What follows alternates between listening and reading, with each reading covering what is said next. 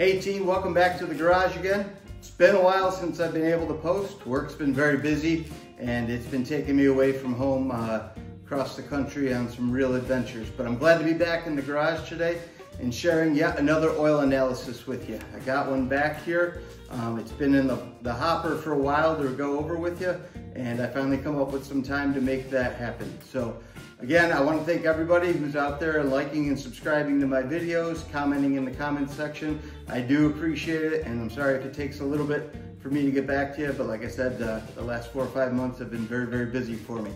So today we got another oil analysis. This one's for my wife's 2023 Honda Pilot Elite that's got the 3.5 liter direct injected uh, engine in it. Uh, so far, so good. Uh, it's been a very good vehicle for us. We're very happy with it. Uh, today's analysis uh, has the car at about 28,586 miles. Um, and the oil itself has 8,901 miles. The oil was run for just a hair under five months um, in that amount of time. This car, um, it can either see a 75 mile an hour commute or it can sit in the garage for two days. It all depends what my wife's in-office schedule looks like. Um, so it can be short trips some days just to go pick my kids up from school. Other days I can do a 75 mile an hour round trip on the highway. Uh, just to give you an idea, people do ask, you know, what are we doing with this vehicle so they can get a good understanding of what kind of treatment the oil is seeing.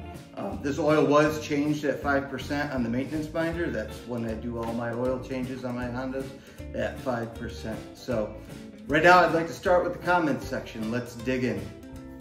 Nice results. This report shows another round of improvement from the metals and silicon, showing more, maybe even the rest of the break-in materials and sealers cleared out at the last oil change.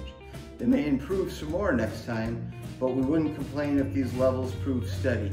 Coolant and fuel are absent, and with a better view of silicon's true level, without assembly sealers clouding the view, we can say that the element is low enough to rule out dirt contamination.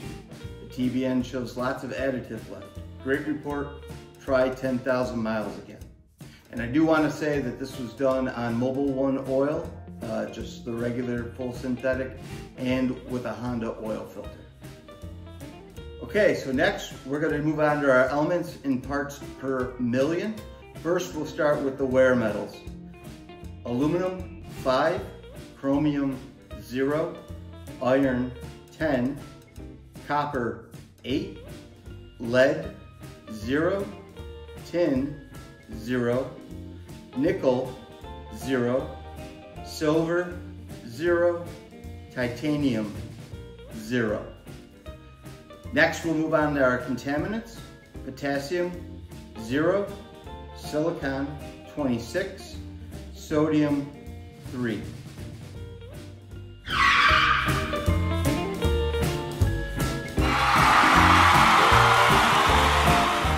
Next, in parts, uh, in parts per million is our additives.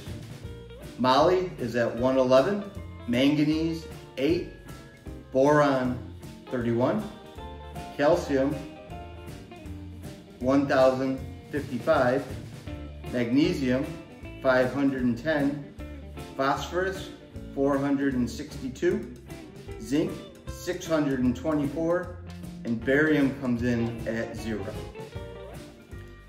Next, we're gonna look at our physical properties. Our SUS viscosity, 50.3, CST viscosity, 7.37, our flash point was at 425 degrees Fahrenheit. Our fuel percentage is less than 0.5%. Antifreeze at zero. Water is at zero. Insolubles, we have a trace. And our TBN, which is our remaining amount of additive, is at 3.3. So there we have it. We have another great report on my wife's 2023 Honda Pilot. I'm happy to see that the Mobil One held up very, very well. Um, and that it seems that the engine's settling right in. There's no concerns, no, no major incidences going on. So I'm pretty happy, especially since we're getting near the end of the bumper bumper warranty on this vehicle. Um, I don't think we're gonna have any, any issues with the engine or drivetrain uh, moving forward. But we'll continue testing the oil samples and I'll keep reporting them back here. So thanks for joining me again in the garage today and I hope to be speaking with you again soon. Have a great day. Bye-bye.